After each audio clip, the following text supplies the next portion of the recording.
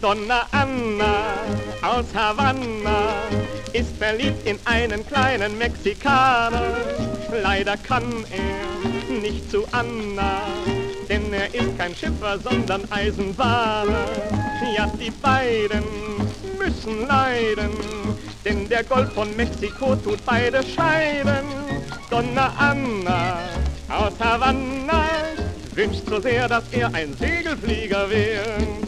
Es gibt kein Rum mehr für ihren Kumm mehr. In Strömen fließen die Tränen der Süßen. Sie will kein Pflanzer, nur ihn als Ganzer. Sie geht zugrund, aber sonst ist sie gesund.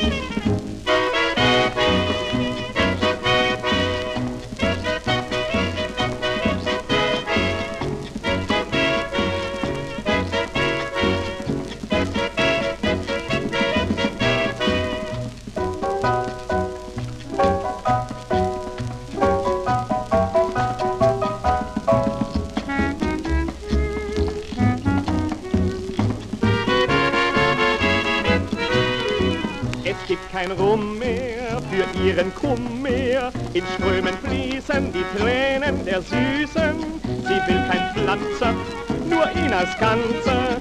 Sie geht zum Grund, aber